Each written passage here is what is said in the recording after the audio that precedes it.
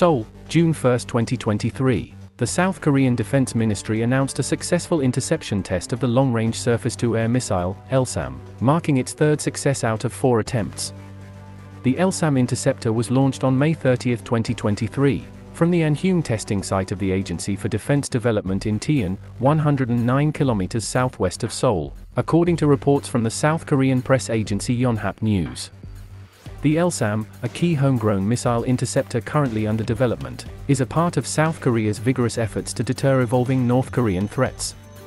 It is being developed by Hanwha and LIG Nex-1, two of South Korea's leading defense companies. The interceptor is designed to target and destroy ballistic missiles from North Korea during their terminal phase, using a trailer-mounted S-band active electronically scanned array AESA, radar. As an upper-tier interceptor, LSAM is a crucial part of the Korean Air and Missile Defense KAMD, project, a layered defense system slated to be operational in the early 2020s. This system also includes the lower-tier Patriot PAC-3 and KM-SAM batteries. The LSAM system is touted as having performance levels twice superior to the Patriot and KM-SAM missiles.